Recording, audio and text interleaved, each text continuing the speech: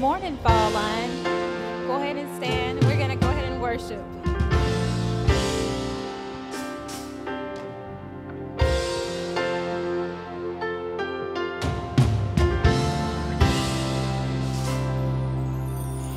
It's not my worship that makes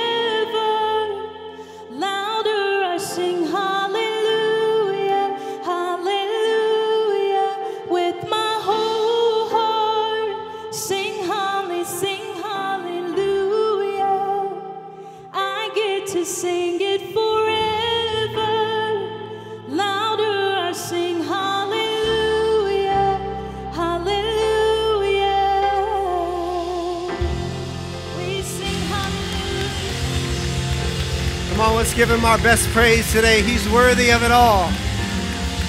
Lord, we love you today. Father, we love you today. Well, good morning and welcome to Fall Line. You guys doing okay today? Let me encourage you with the psalmist, Psalm 100, verse 4 says, Enter his gates with thanksgiving and his courts with praise. Give thanks to God to him and praise his name. And here's the reason why. For the Lord is good, and his love endures forever.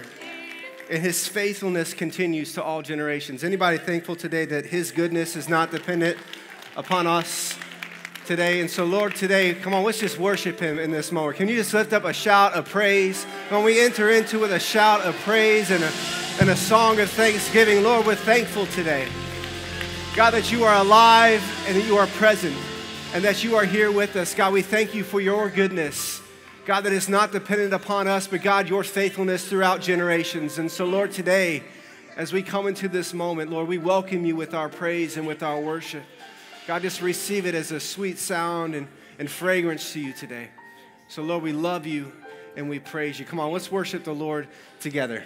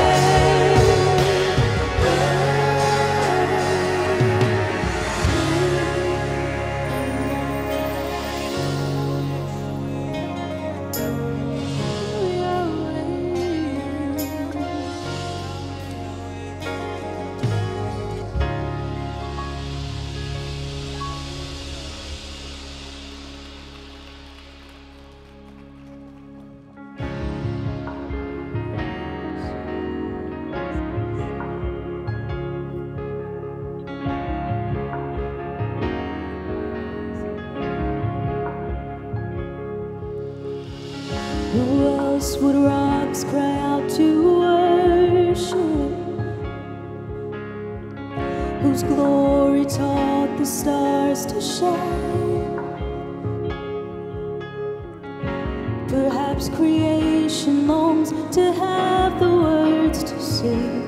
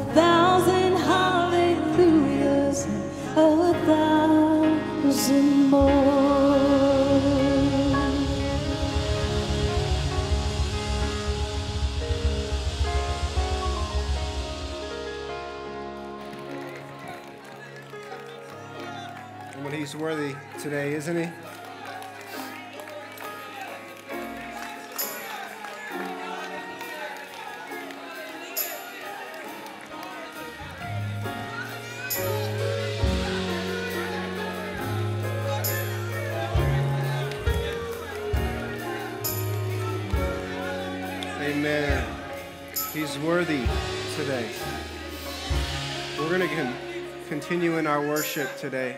Why don't you grab the uh, communion as we come to the Lord's table today? Amen.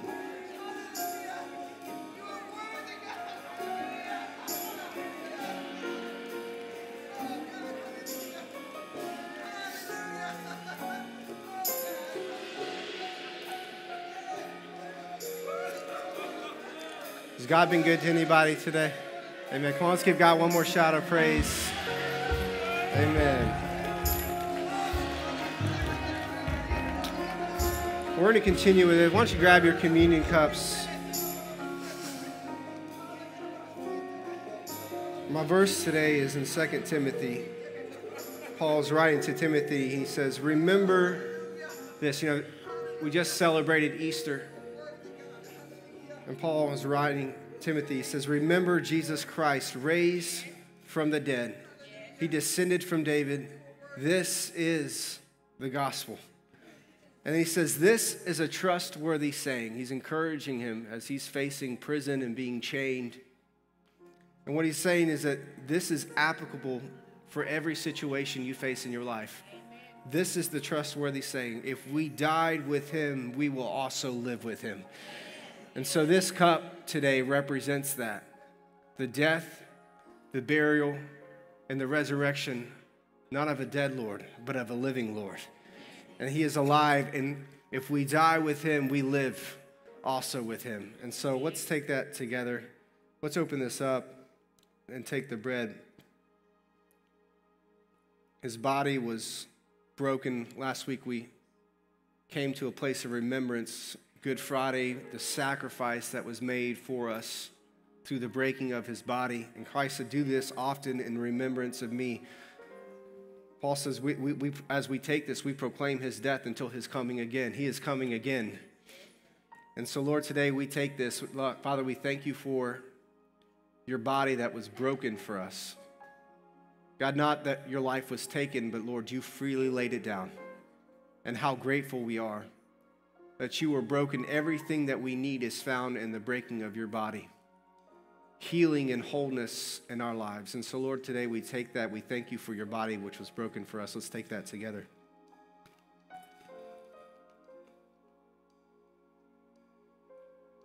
And then we turn to the cup.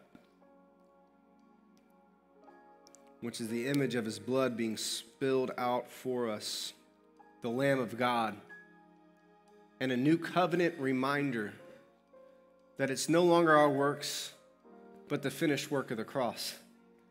The righteousness of Jesus, that if we die with him, we live with him. And so, Lord, today we thank you for the blood. God, that covers and washes our sin as far as the east is from the west. Lord, we thank you for a new covenant that we have in the fulfillment of you. And so, Lord, today we take that in remembrance of you.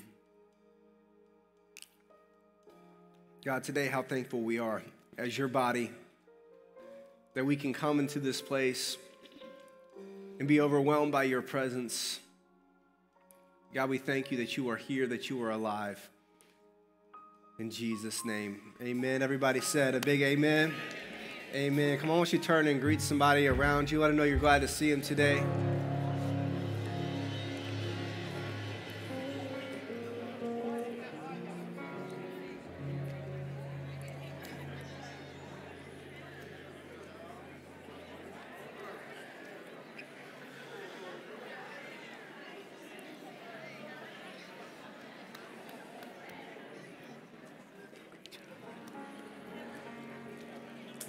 You guys thankful for this incredible worship team? Come on, can we just let them know how much we love and appreciate them? You guys put a lot into it every week, and so thankful for that. Well, hey, why don't you grab a seat around you? Welcome everybody who's tuning in, watching online, wherever you're from, maybe finishing up spring break. And so I'm thankful. Uh, my family, we got a few days to get away, and I want to thank my team. I have an amazing team around us, and so thankful for them. And got to do some planning and relaxing, and so I'm ready. I, have got series planned out almost to the end of the year. We're going to have a great year together.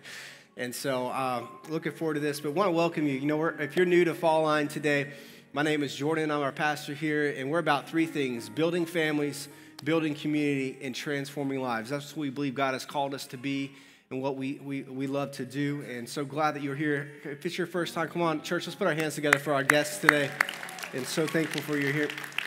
If you would, there's a connection card on the seat back uh, around you, in front of you.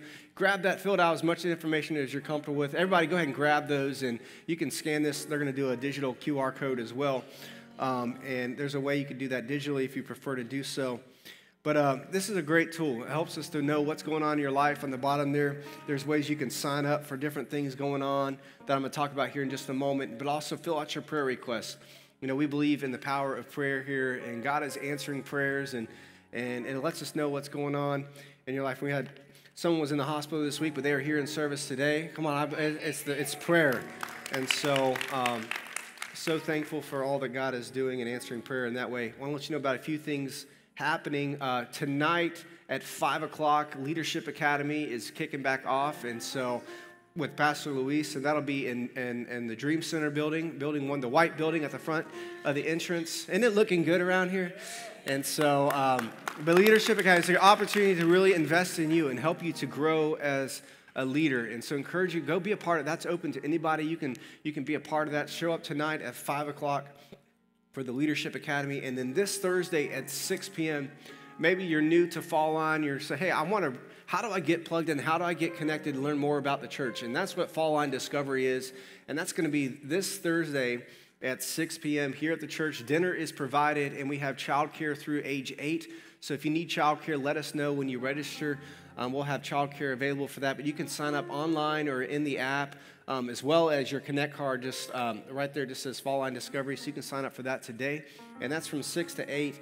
Um, and it's just a great, not only do you learn more about the church, but a majority of the time we help you discover what God's placed inside of you. I believe that God has gifted each of you on purpose, with a purpose, and for a purpose. And there's gifts that God has placed inside of you to help you fulfill that very purpose in your life. And so, Fall Line Discovery is not only about discovering more about the church, but it's about discovering what God has placed inside of you and help you to learn about the gifts and how to use those and, and to grow into your purpose that God placed you here for. And so that's going to be on, on Thursday night.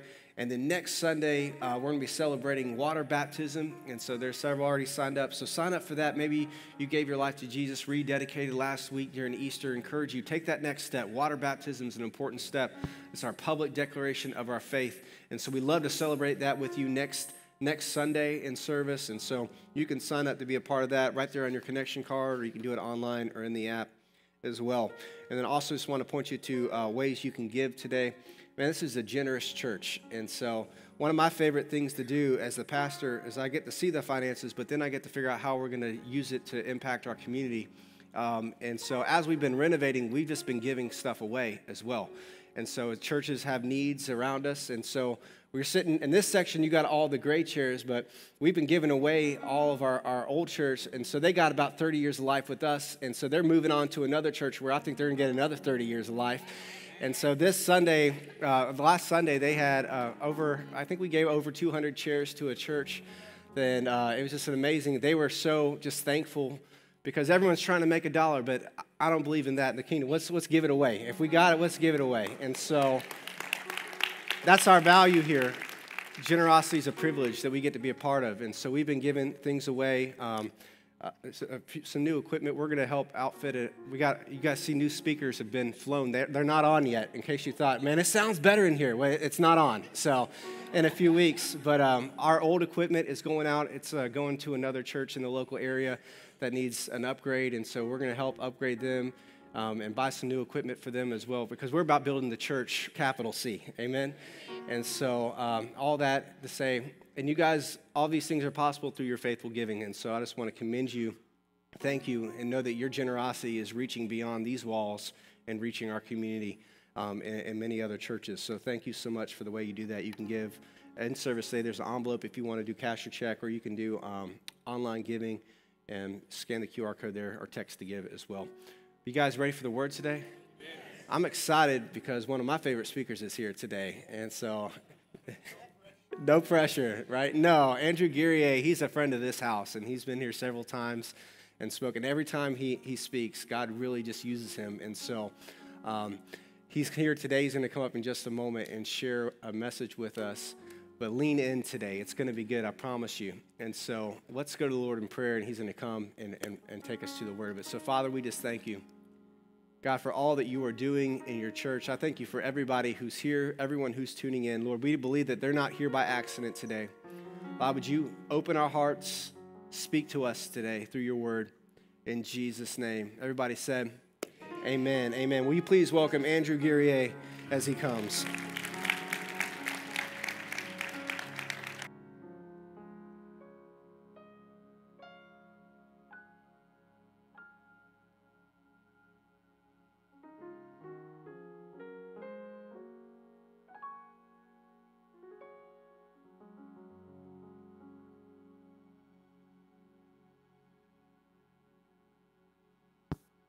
Guys hear me? All right, all right. How's everybody doing this morning?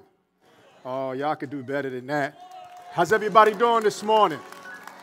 Listen, I come from a little bit of a Pentecostal background, so we don't mind making a joyful noise unto the Lord. So, how's everybody doing this morning? Amen. So excited to be here. You know, one of the things that I love about this church is you guys always make me feel at home and I also love the fact that there's only one service, so I don't gotta rush. Amen. I can have y'all here till three o'clock if I need to. Amen. Amen. Can we raise the house lights on just a little bit? I want to see some of your faces here. You know, one of the beautiful things about this church, I've been visiting here for, man, maybe six, seven years now, Pastor Steve. I know it was before COVID. And I like to go wherever God is moving. I've seen this place before it looked like this. And first of all, that is attributed to your generosity, number one. And number two, because of your leadership. Pastor Jordan is a leader, he's a pastor, he's a videographer, he's a carpenter. He's like Jesus, huh? He's a husband, he's a father, he's a brother, he's a friend. And I'm always grateful for him giving me the opportunity to share this pulpit with me because I don't take it lightly. Anytime the Father gives me an opportunity to speak His word, it's a privilege, sacred, something that I respect. Can we give your pastor a round of applause really quick, please? He and his wife Camila are having their fourth child in what, less than a month? So you guys take that scripture literal. Y'all are being fruitful and multiplying in Jesus' name. All right, so let's get started, guys. Um, I know you all are in a series called Good News, and um, couldn't be a better title uh, because that's what Jesus came to do. Came to give us good news. He came to create the pathway for salvation for us, in spite of our sins, which is good news. Amen. Let me read this scripture with you guys Luke chapter 4, verse 18. It says, The Spirit of the Lord is on me because he has anointed me to proclaim the good news to the poor. He has sent me to proclaim the freedom for the prisoners and recovery of sight for the blind, to set the oppressed free, to proclaim the year of the Lord's favor. The year of the Lord's favor or the acceptable year of the Lord in other translations, this is when God offers salvation to his people while also making a covenant with the nations. So, this is a beautiful promise. So, when you hear the year of the Lord's favor or the acceptable year of the Lord, I want you guys to think about that. Now, last week we celebrated Resurrection Sunday. This is the Super Bowl of our faith. How many of you guys watch sports? Y'all know Super Bowl is one of the biggest, most watched events, not just in the country, but in the world. And I, I, I see how some of y'all act when your favorite team wins. So I just want I want to test y'all for a minute. Can we give God praise for his resurrection power for the life of his son Jesus Christ. That's your cue. We thank him. We love him. Y'all don't shout louder for football than you do for Jesus. I know my lady in the blue, I know you with me. Yeah. Yeah, we we not going to shout louder for a football team because they ain't none of them to give us salvation. I'm just saying. Amen. Amen. So we always tend to celebrate the resurrection as we should, but I think we never acknowledge the fact that Jesus was not only resurrected, but he came back and spent an additional 40 days with his disciples. 40 days. Now, I know none of y'all never seen a dead man walking, but if you did, I'm sure that would heighten your faith. Amen. Somebody who died three days ago and then he came back hanging out, that'll heighten your faith. It should, right? So, one of the most significant periods in the Bible is the 40 days after Jesus rose from the dead. Oftentimes, I don't always hear people preaching about that part, but that's significant. You know, during those 40 days, Jesus walked and talked in places where his ministry first began. So, the origins of, of his ministry he went back and, and he revisited. So he was also seen in his restored body by thousands of people. he was seen restored and alive. And during that time, Jesus continued to heal the sick, he continued to preach, and he continued to love. And then he ascended into heaven, which was also witnessed by many. So again, imagine you see the resurrected Christ appear before you, teaching, healing, loving for 40 additional days before his ascension into heaven, which was also witnessed by many. You see, the Savior's words and actions during those 40 days, I believe he was given a roadmap and instructions of the work that needed to continue following his ascension. He came back to, to give some instructions. Now, who did Jesus give these instructions to? I want y'all to treat this like a class. We're going to interact a little bit. It's not going to offend me. Who did Jesus give his instructions to? His disciples, right? He was going back to visit with his disciples. You know, some didn't even believe he was who he said he was. They wanted to feel the piercing in his side, right? They wanted to see proof that there was nails on his hands, right? But he came back to reiterate to his disciples exactly what it is they should be doing while they were in fellowship with him. He was passing the baton, right? So a disciple simply means a follower of Christ. I don't want you guys to, to overlook that or, or make another meaning or, or deepen the fact that it simply means a follower of Christ. That is a disciple. It's not limited to those 12.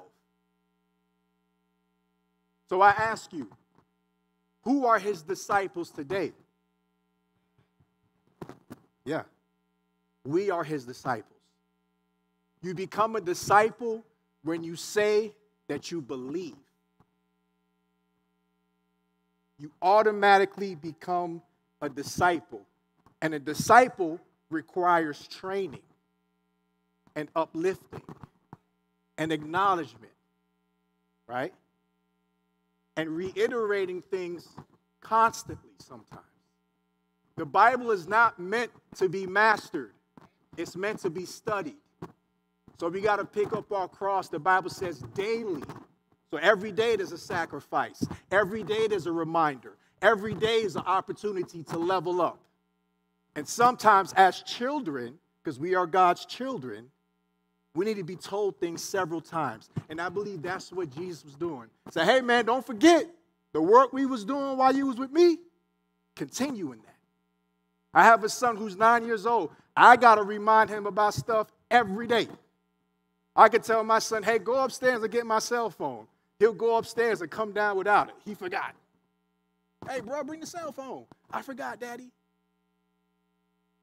And that's sometimes how Jesus looks at us. He tells us in his word what he expects. He gives a clear map by allowing his son Jesus to come here and model a lifestyle that, that we should take on, right? It's almost as if God was in heaven. He said, These people, they, they never going to get it until they have a living example. The word, the commandments, the Moses, right? All of those people, the King Davids, they weren't enough. So he had to send Jesus as a living example to model a life after his. What a mighty God we serve. Because if I was God, I would have been zapping some of y'all. Like, man, they can't get it right. Strike lightning on that dude right there. get him. But instead, he sent Jesus to offer us grace, peace, and salvation. So let, let's just look real quick at some of the instructions he gave previously with his disciples. Turn with me to Matthew 10, chapter 5, excuse me, chapter 10, verses 5 through 14. And I, I believe they'll show it up on the screen as well. All right? So it says, These 12 Jesus sent out with the following instructions. They're very specific. Watch what he says Do not go among the Gentiles or enter any town of the Samaritans. Go rather to the lost sheep of Israel. As you go, proclaim this message The kingdom of heaven has come near. Heal the sick, raise the dead, cleanse those who have leprosy, drive out demons.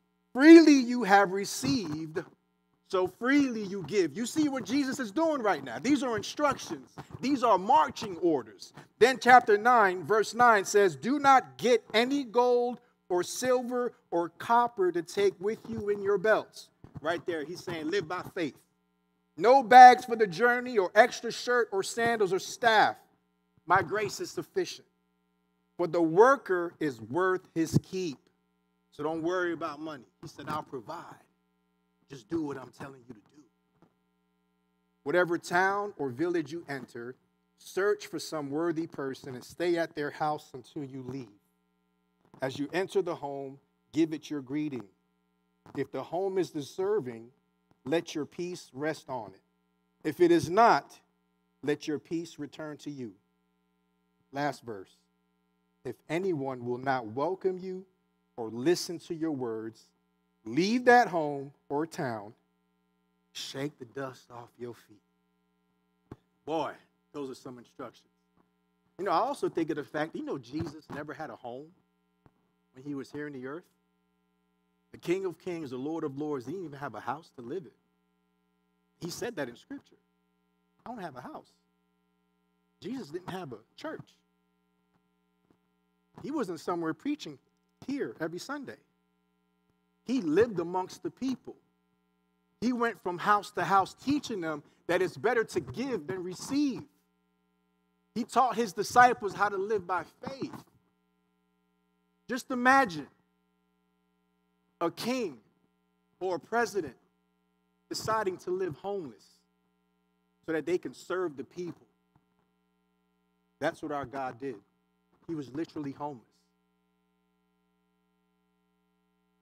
But he always provided for those around him. You see, Jesus called his 12 disciples to venture out and put into practice all that he had taught them, right? So he said, All right, these are the instructions, go. And they were heavy. They were heavy. He's talking about, he's talking about heal the sick, drive out demons, right? Cleanse people with leprosy. That's that's a tall order. He said, Yeah, I need y'all to go do that. He also said in the scripture, These things that I do, even greater things you will do. If only we had that kind of faith. I believe it's in this house. I just heard Pastor Jordan say somebody came out the hospital this week. You know, the resurrection power is in us.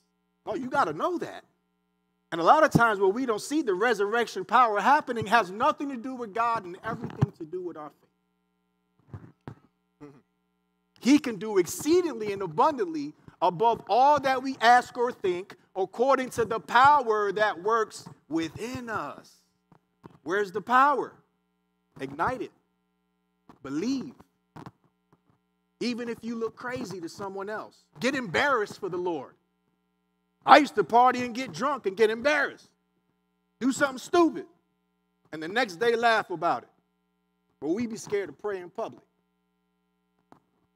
We be scared to see somebody in a grocery store, right, struggling with a limp, right?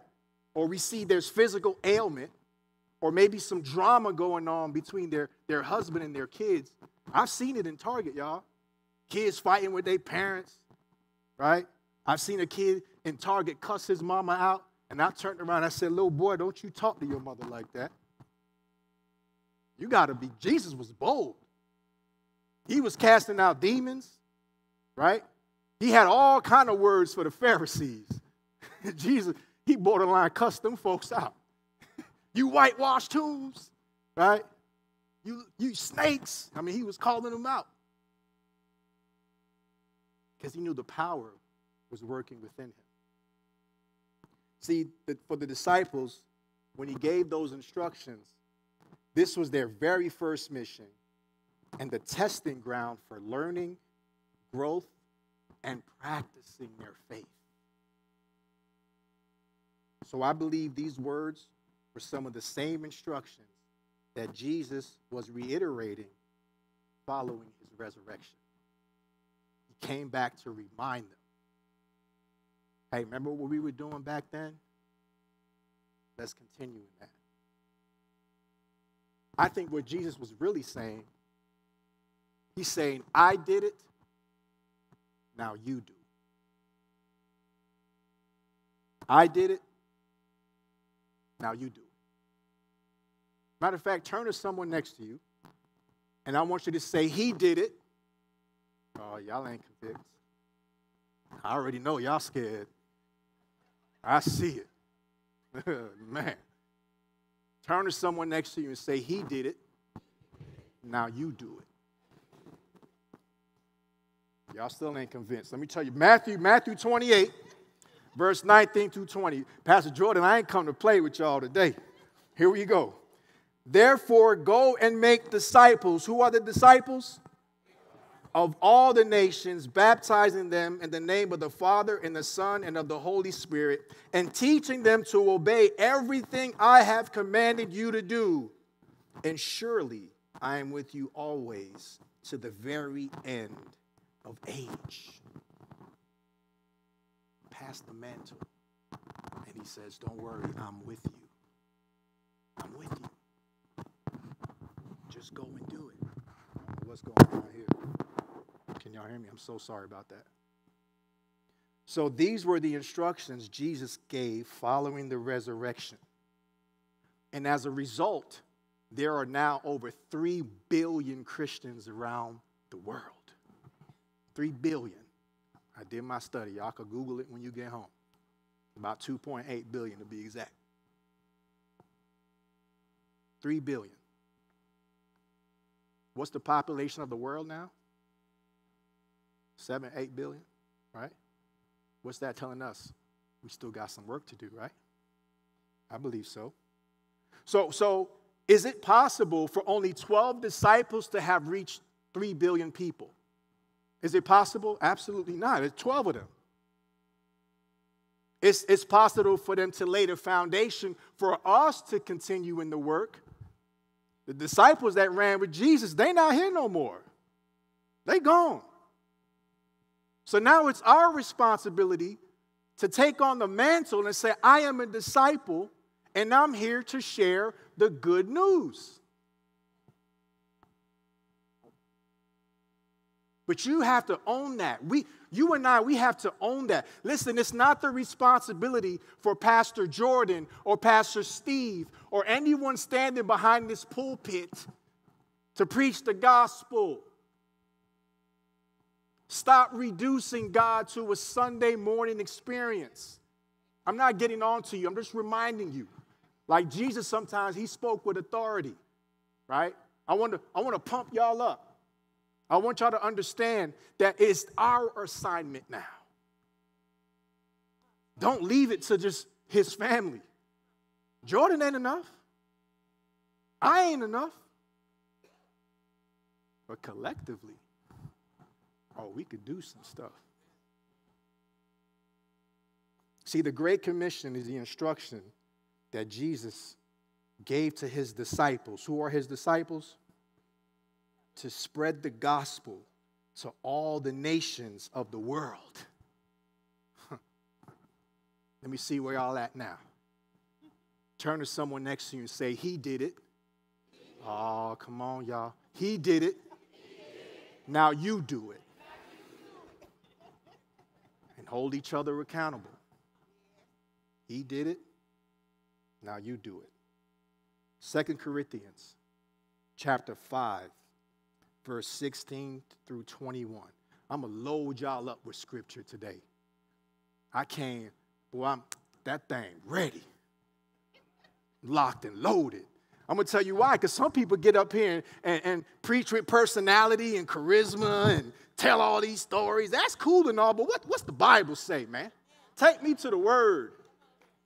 Validate me by the Word, not by my appearance or, or my, my swag or how I can tell a story. I don't, I don't care about none of that. There's too many motivational pastors out there. They motivational uh, speakers. A lot of these guys ain't teaching from the word. I'm not naming names, but you know some. I'm trying to not name no names right now. And then what we do is we struggle with man worship because we're worshiping a personality, right? Instead of the living God. So we get caught up in our pastors because they speak so eloquently, because they officiated our wedding, they baptized our baby, and now that pastor becomes your God. But guess what? When that pastor falls from grace, and it's probably 99% chance that he will, because all of us fall short. Now y'all want to leave church. See, that's why I don't go to church. And boy, they fake in there. Nah, they're not fake, they human. we to make mistakes. The problem is you worshiping the wrong thing. You putting your faith behind a personality or a man or a woman on the stage. And then when they fall, you want to denounce God and leave the church. The very thing that's there to train and build you up and assemble together. We want to leave that behind one person's mistake. Let's get our priorities in order. It's about Him and Him alone. Christ and Christ alone. We're just the messenger, we're not the message. Amen? So Second Corinthians 5, verse 16 through 21 says, So from now on, we regard no one from a worldly point of view. Though we once regarded Christ in this way, we do so no longer. Therefore, if anyone, say anyone, is in Christ, the new creation has come, the old has gone, the new is here. All of this is from God who reconciled us to himself through Christ and gave us, me and you, us, the ministry of reconciliation. He gave us, okay, I'm just going to point that out, the ministry of reconciliation. That God was reconciling the world to himself in Christ, not counting people's sins against them. And he has committed to us, say us, he said it twice, the message of reconciliation. We are therefore Christ's ambassadors, as though God were making his appeal through, there goes that word again, us. Man, look how many times he said us. What a what an honor for God to say he's gonna make his appeal through us. I'm gonna work through you, my vessel, my creation. I'm gonna make my appeal. Ooh, hold on to that. I'm going to make my appeal through you. What an honor. Remember the old church, they would say, that dirty, wretched soul. and that's who he chooses to make his appeal through. And then he says, We implore you. Implore meaning we beg you. Like we beg you on Christ's behalf, be reconciled to God. Like he's pleading with the people. We should plead. Your co worker, like, hey, bro, I'm pleading with you, man. Get it right. Tomorrow's not promised, bro. Like, that's how we should be talking. He said, I implore you on Christ's behalf, be reconciled to God. God made him, meaning Jesus, who had no sin, to be sin for us, so that in him we might become the righteousness of God. Mm. See, if you've never shared the gospel or never witnessed to someone before, I mean, we could just start with verse 21 of Second Corinthians chapter 5. We could simply say, hey, God made Jesus, who had no sin, to be sin for us, to take on our sins, so that in him we might become the righteousness of God. That's pretty simple. How many of y'all ever memorized a song before? Oh, don't sit up in here and get all churchy. Oh, don't sit up here and get all churchy. How many y'all ever memorized a song before? How many songs were, it were gospel songs? Damn that earth, wind, and fire. Huh? That Barry White and them. They wasn't preaching, but y'all know the song. Some of y'all in here know no Future and 21 Savage in them. I know who I'm talking to. Them young ones know exactly who I'm talking to. Lil Durk and them. Y'all know them songs. Y'all better memorize a scripture. Even if it's one, you better just hold on to that. I be like that sometimes too. You know, sometimes I quote scripture all the time and forgot where I got it from. God ain't impressed by your memory, your memorization. Some people think because they could quote scripture and tell you exactly where it is. God don't care about none of that. He wants you to live that scripture. So I quote scriptures all the time. Yeah, y'all clap for that. He wants you to live it. I be quoting scriptures all the time because I know the word. I just can't tell you sometimes where I, where I found it. You better go to Google, but it's in there. I bet you that. Fact check. it's in there. I just forgot where, I, where, where that came from, but it's in there. You know, another great way to start is with your testimony. Let's get off scripture for a second. You know, I, I, I think I've heard people say before there's a saying that your life might be the only Bible that some people read. So start with your story. Here's the beautiful thing about your story. Oftentimes, when I witness to people, I'm not throwing the Bible at them, right? I'm not screaming out Galatians 6 9. I'm not telling them they're going to hell. If I'm not doing none of that. You know how I start? With my story. And I testify. Remember in Revelations, here we go. I'm about, I'm about to quote a scripture. I know it's in Revelations. we overcome by the blood of the Lamb and the word of our testimony. That's how we overcome by the blood of the Lamb. That's so simple. We overcome by the blood of the Lamb and the word of our testimony. Testify. If God has done something for you that you know only God could do, tell someone about it. The beautiful thing about your testimony, watch this. Y'all lean in for a second. The beautiful thing about your testimony, no one can ever debate or deny that God did that thing in your life.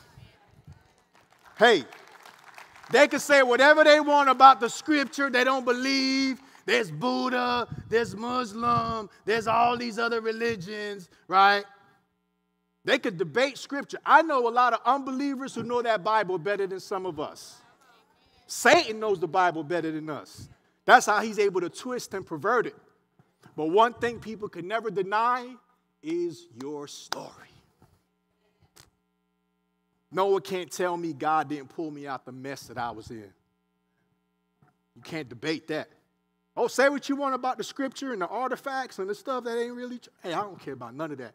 I was a mess and God pulled me out. I was facing 15 to 25 years in prison. True story. God pulled me out. I was selling dope, living a promiscuous lifestyle, right? Promoting clubs and parties, robbing folks. This was my, this was my past. I'm going to lay it out. God pulled me out. For a long time, too, now. No, this wasn't just last week. Some of y'all look at me like, ooh, what, what are you doing up there? He's, oh, 18 years old. I'm in my 40s now. Chill out. Chill out.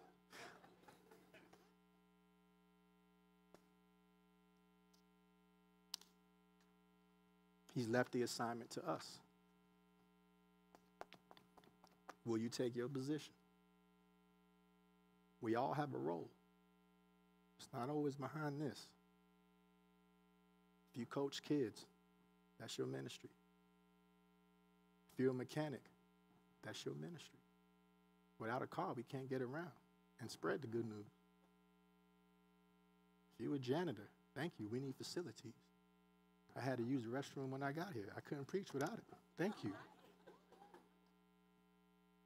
If you're a construction worker, you wouldn't be able to do what we're doing now. Thank you. If you're a doctor or a nurse, listen, don't limit your ministry to this. Your ministry is who God created you and birthed you to do.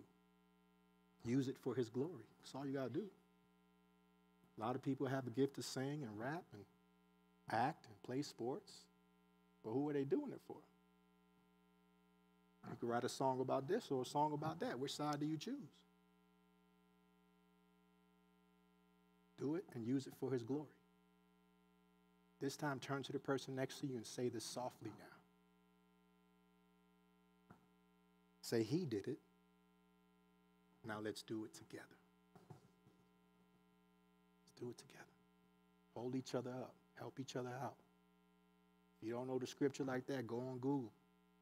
Go on Google before you make that call to your friend and leave your laptop open and minister. Shoot, I've been on many Zoom calls with, with my Bible app right there, quoting scripture. Acting like I knew it all the whole time. Memorized like I'm on Zoom. I'm hey, that Bible, that Bible gateway is right there. And I'm going to town. Simplify, y'all. I ain't got no seminary degree. I'm not saying that that's not necessary for some. Paul ain't had no seminary degree. God used him. He can use you. So let me get back to my point so I don't keep y'all here all day.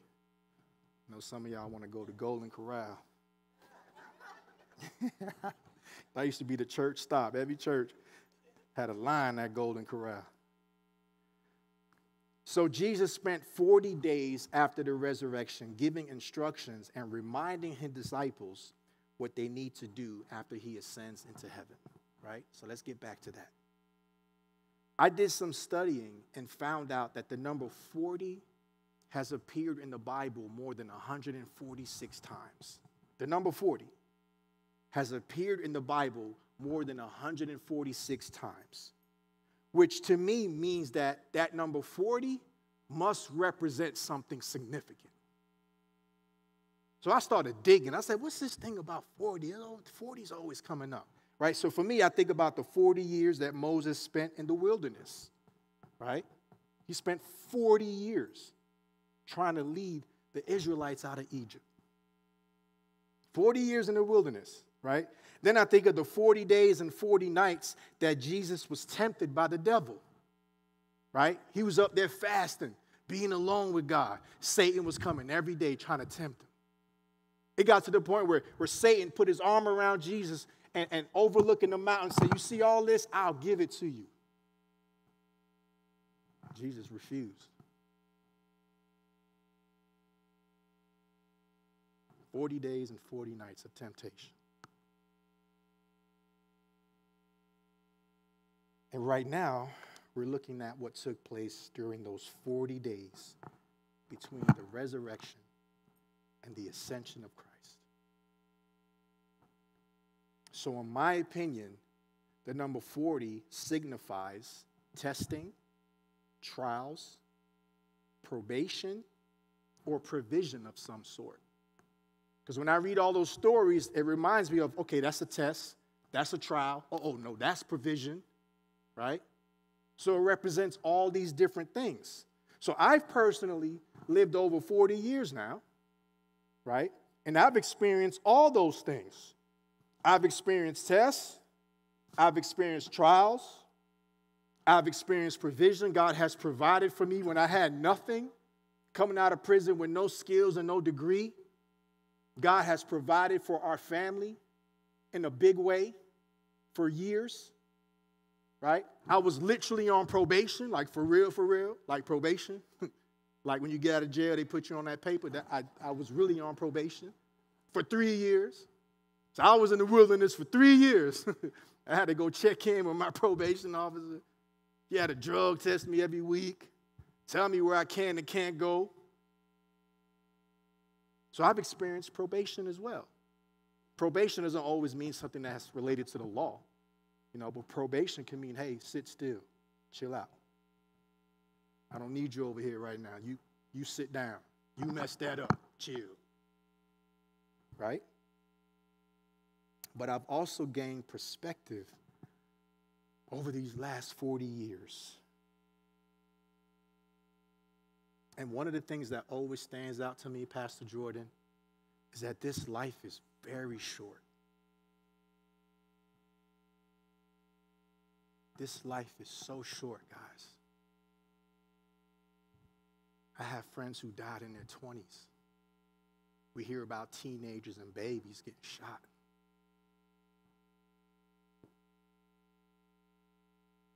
I've learned that the average lifespan of a man or a woman is roughly 73 to 79 years old. That's like according to data, that's the longest most people live. Very few live past that age. So we really don't have that much time. So to me, there's a responsibility and an urgency for us to get out here and do some work. We got to do work, y'all. Because faith without works is what? Do we want to be a dead believer? Do we want our faith to appear like something that doesn't really exist or is convincing because of our lifestyle, because of our lack of allegiance to the Father, because of our inability to abide by Scripture, because we can't stop partying, because we can't stop clubbing, because we can't stop getting high or whatever it is, lying? We got to do the work, guys. We can't work our way into heaven. That's not what I'm saying. It's by grace through faith alone. Salvation is free. It's free, God. It's a gift. Can never earn that.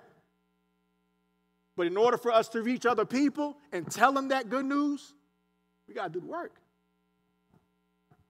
I'm going to prove it to you in Scripture. I told you I'm loaded today.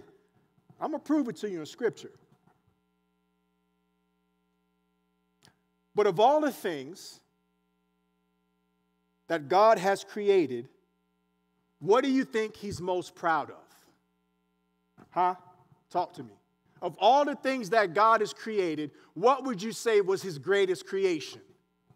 Oh, us. Okay, so let me ask you this. I want y'all to, we in class now, y'all. Forget all this. I'm not on no pedestal. I'm with y'all. You want me to come down here and talk to y'all? I'll come down.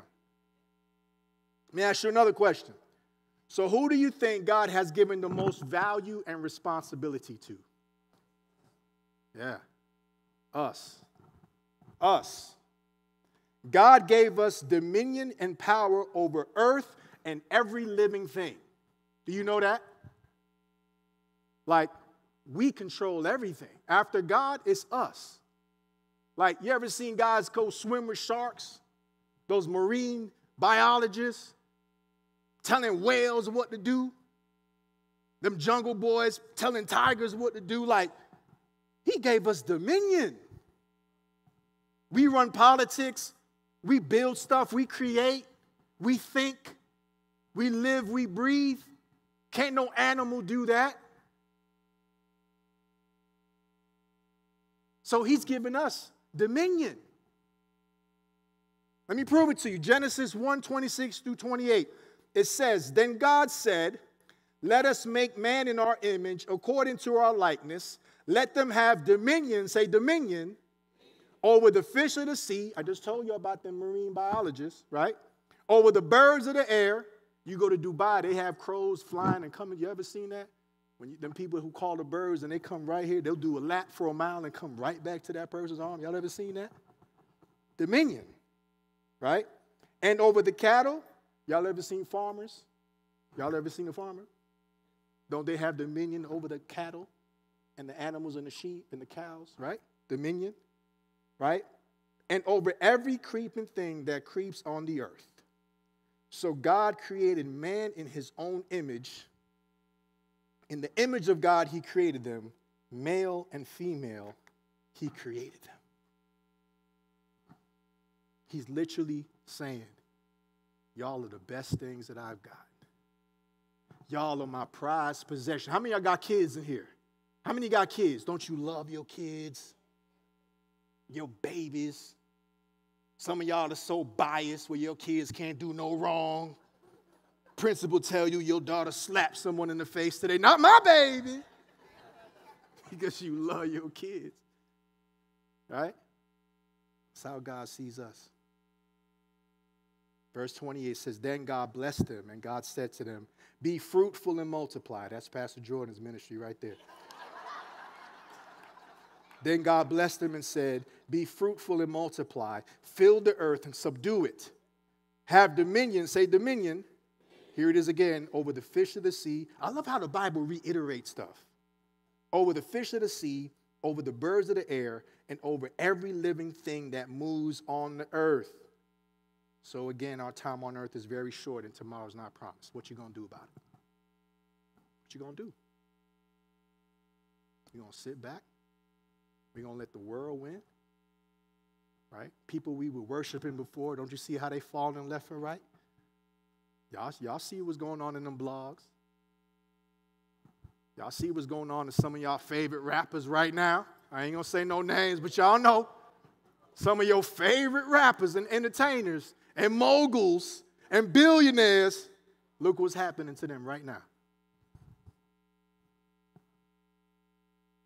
But if someone was bold enough to go to one of them Diddy parties and say, hey, bruh, we don't do that. But we're so impressed with money and popularity and fame that we see people and get starstruck. I'm, okay, I'm not bragging here. I've been in some room. My, my, my, my sister used to be Puff Daddy's private chef. Straight up. Me and my dad had dinner last night, and we were joking how my dad went there and he hosted him, right? I've been in rooms with Mike Tyson, Madonna, Shaquille O'Neal, like in rooms, not like I'm talking about in rooms. I've been in all kind of rooms. I ain't never starstruck. I don't care who's in there. Hey, nice to meet you. Keep it moving. I don't want no autograph. I don't want no selfie. I don't need none of that. Hey, bro, how you doing? God bless you. You know the Lord? I've done that many times. These are people. Appreciate them. But we don't worship man.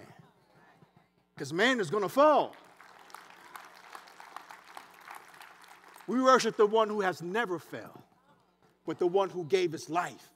He didn't fall, he laid it down. There's a difference. He didn't fall, he laid it down. That's who I get excited about.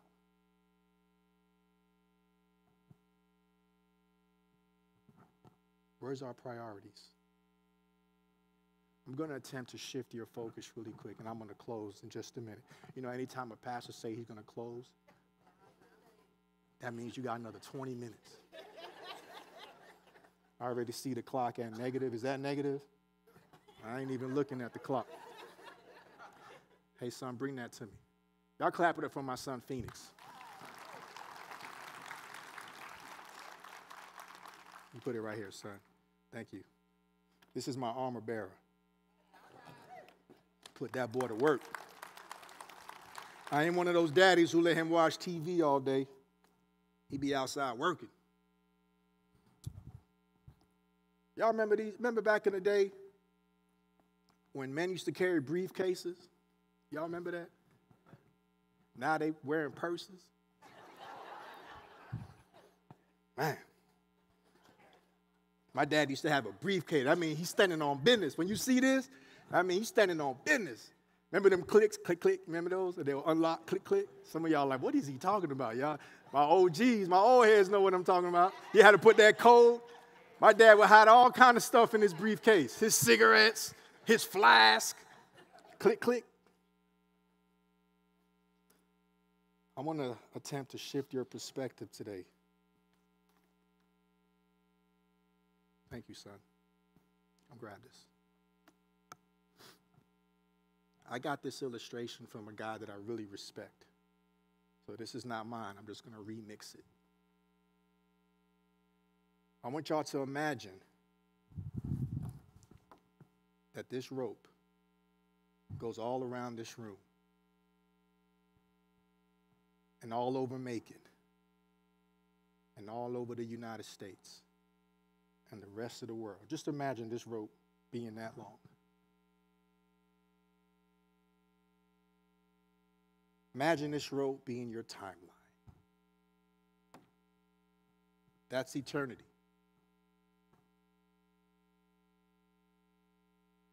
This represents our life. Let me, let me, let me, let me, let me walk this out with you. How many of you guys have ever been to a funeral? Okay. How many of you have ever been to a cemetery? On that tombstone, there's a date, there's a dash, and then there's a date following it. That dash represents your life. See how short the dash is on that tombstone? That dash represents your life. So this is our life.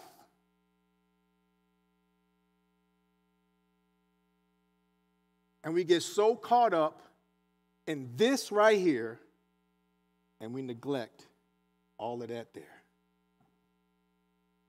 We get right here and we say, oh man, it's time to party. Right? I remember when I stopped partying, my friends were like, man, you giving up on your best years. You still young, dog. You got time. No, I don't. And my best years ain't here. Trust that. They're here. My best years will never be here. I'll have some good moments, but the best is yet to come. Then we get right here, we say, I'm gonna work hard, I'm gonna chase my career, I'm gonna have four babies like Pastor Jordan, I'm gonna do all these things. We get right here, right? Then we get right here, we say, man, I'm gonna save up all my money, I'm gonna be cheap, I'm not gonna give, I'm not gonna tithe, right? Because I need to retire, and we're, we're living for, for this part, and then I'm gonna enjoy myself. I'm gonna save, I'm gonna invest, just to enjoy that, that last 10 years of my life. You know, people don't retire until they're 65. I just told you the average lifespan of a person. And we get so caught up in this, and we neglect all of this. So my friends would call me crazy, Pastor Jordan. They'll call me stupid because I don't smoke no, I don't smoke no weed. I don't get high. I don't drink. Right? I still struggle with a cigar. You know, being honest. Be watching the Super Bowl, light one up. I don't inhale nothing, but it's a cigar. Just being honest. Gave up on all these things. And they're like, bro, you tripping. I was like, you tripping. You giving up all of this for a little of that. I had another friend tell me, Phoenix, one of my friends said to me, he said, Andrew, what if you're wrong about all this Christian stuff? what if there wasn't no Jesus? First of all, there's proof that there was a Jesus, but okay. But they'd be like, well, what if he wasn't the person that offers salvation and all the stuff that you say and believe ain't true? You know what my answer is? Hold on. How many of you guys have ever had someone debate your faith before? And they'll challenge you and say, How you gonna believe that? It's not true.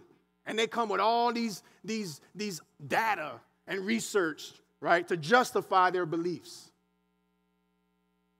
When I was locked up, someone asked me that same question because he was Muslim. He said, What if all that stuff you believe ain't true? I said, You know what? If it ain't true, brother, I got nothing to lose. I lived a good life. I tried to be righteous. I took care of my family. I traveled. I lived it up. But if you're wrong, that's how you rebuttal that. If I'm wrong, I got nothing to lose. But if you're wrong, you got everything to lose. Everything.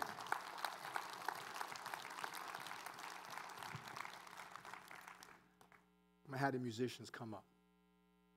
See, when I think of heaven, I think of my very best day of my life for the rest of my life. And when I think of heaven, I think of, man, it's my birthday every day with that cake. I like a little jewelry. God said, we're going to have streets of gold. said the gates are pearly, the pearly gates. He said, In my father's house there are many mansions. I'm finna be balling in heaven. I don't know about y'all. Y'all get, y'all get offended by that stuff if you want. I'm finna be balling, living life with my loved ones forever. Imagine that. No sickness forever. Joy forever. Peace forever. Huh? Generosity forever. Come on, give me some. What else? What else? What else is out there? Joy. What else? Blessing. Give me something else. Talk to me. Forever, huh? Peace. Forever. Forever. Forever. Look at that. Keeps going. Forever. Forever. What are we trading?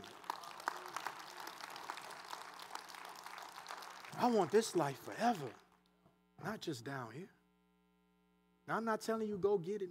I ain't telling you go, not, not to go get it and not to hustle and grind. Yeah, all these things, listen, all these beautiful things were inspired by God.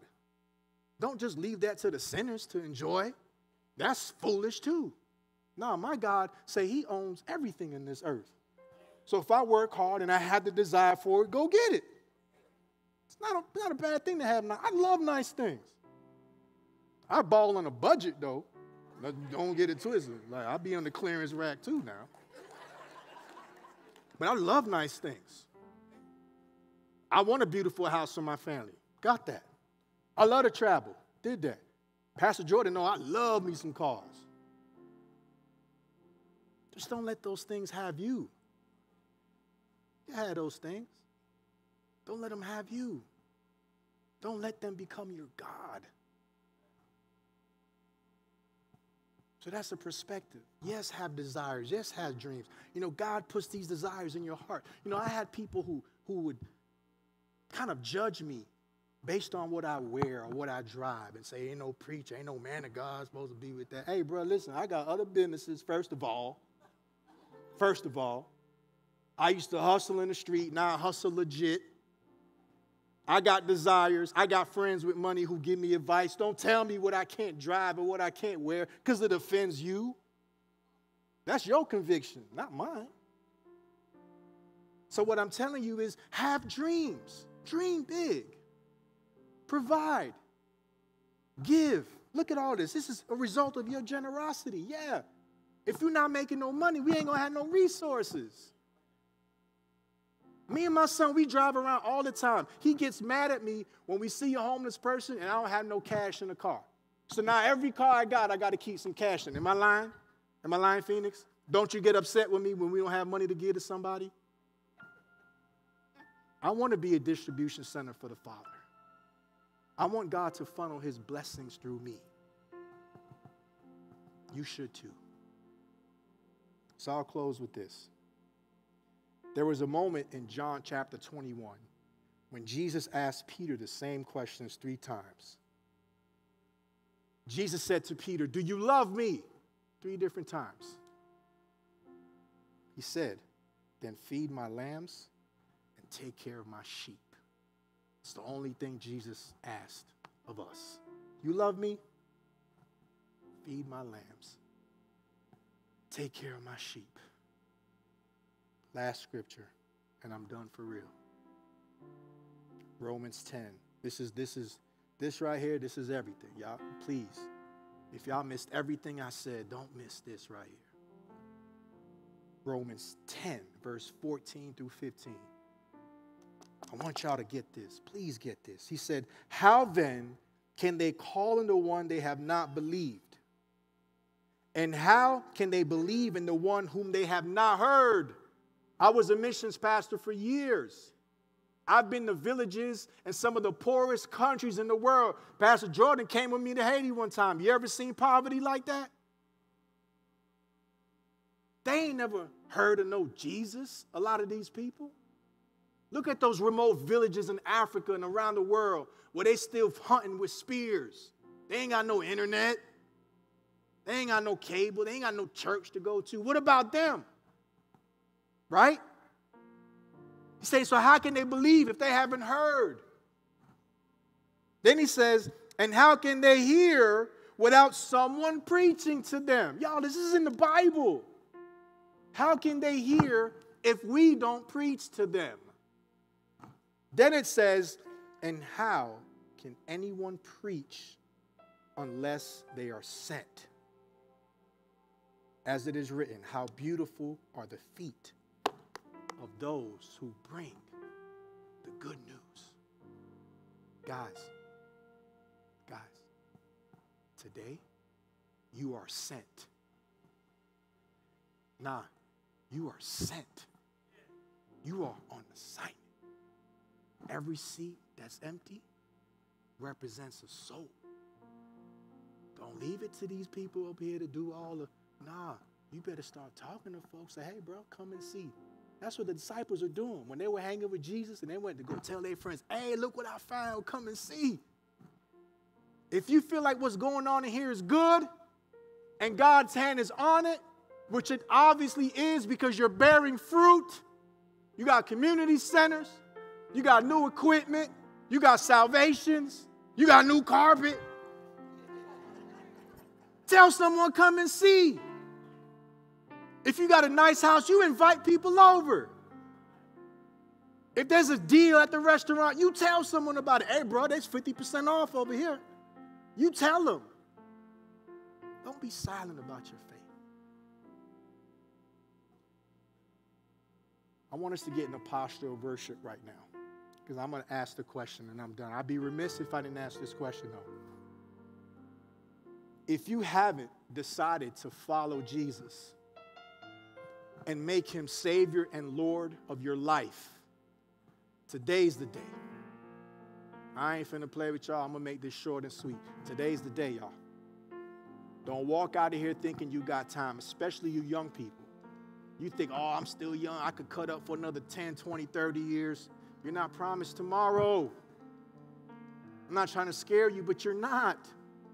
There's a chance some of us might not wake up tomorrow. So the time is now. Right now. Bow your heads.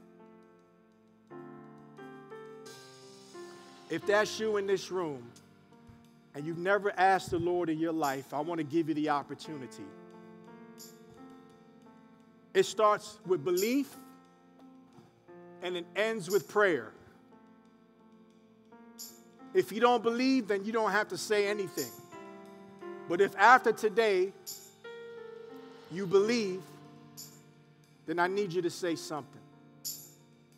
This is the pathway to salvation. He says, if you confess with your mouth and believe in your heart, then he said, you shall be saved. That's the pathway. There's no other way around it. Jesus said, There's no other way to the Father but through me. Let me take you there this morning. Come and see. If that's you, I want you to pray this prayer after me. And, and, and so we don't discourage the person next to you who might be saying this prayer for the first time, so we don't embarrass them, I would like, if you don't mind, everyone to repeat after me. Say, Father, I ask that you come into my heart and be in my life. Jesus, I know that I'm not perfect, but I know that you have a perfect plan for me. So today, I believe you and I receive you as my Lord and Savior. From this day forward, I choose to follow you, for I am yours. Look at me really quick. I want y'all to be bold in this moment. Let's soften it up just for a second. If that is you, all I want you to do really quick is just raise your hand if you prayed that prayer for the first time. Just raise your hand. Just raise your hand. I see you. I see you. It don't have to be 5,000 people. This could be just for the one. I drove two hours today. It don't matter. I see you, brother. I see you, sister. Put your hands down. This is not to embarrass you, it's to acknowledge you. Now, we talked about the Super Bowl. This is what it's about. I want you guys to celebrate these people who just raised their hand like they just won the Super Bowl.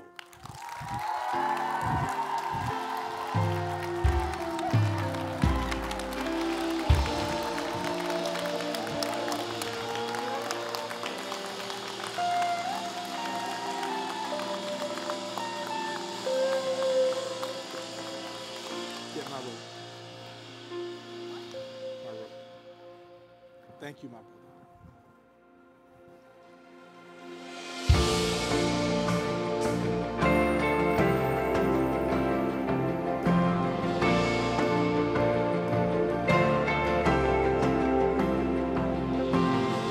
They say this mountain can't be moved. They say these chains will never break. They